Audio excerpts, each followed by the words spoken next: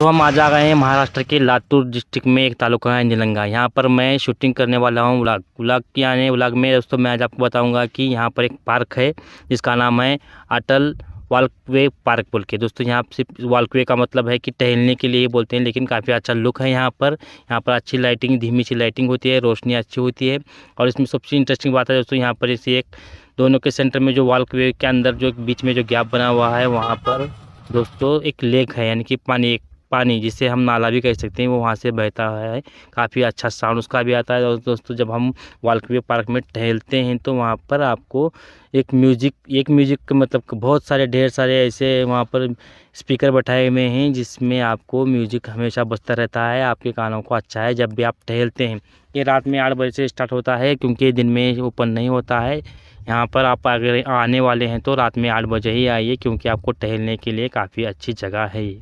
और साथ में साथ दोस्तों यहाँ पर छोटे बच्चों को खेलने के लिए भी कुछ चीज़ें हैं जैसे कि यहाँ देख सकते हैं वीडियो में शूट कर रहा हूँ। और साथ ही साथ में यहाँ पर सबसे अच्छा मुझे लगा जो कि यहाँ पर लिखा हुआ है आई लव नीलंगा काफ़ी अच्छा है ये।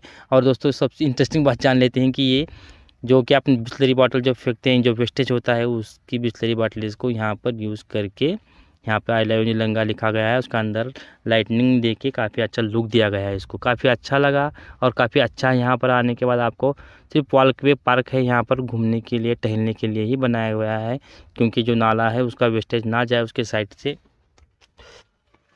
कुछ ऐसा लोकेशन क्रिएट किया है जिससे कि आप वहाँ से घूम सकते हैं और आपका इन्वायरमेंट का भी इंजॉयमेंट ले सकते हैं। काफ़ी अच्छा लुक यहाँ पर आपको यहाँ पर आपको आने के बाद आपको काफ़ी शांति मिलेगी, क्योंकि ऐसा ही म्यूज़िक अपने कानों में बजती रहती है तो इससे इंटरेस्टिंग होता है। धीमी आवाज़ में म्यूज़िक चलता है, ज़्यादा लाउड भी नहीं होता है।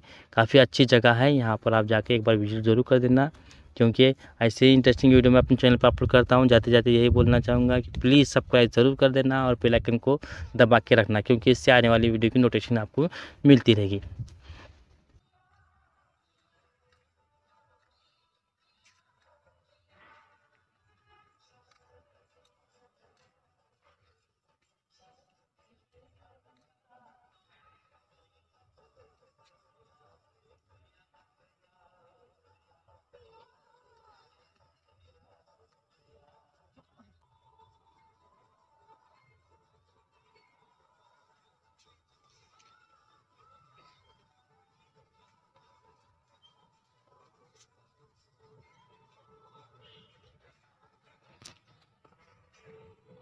Thank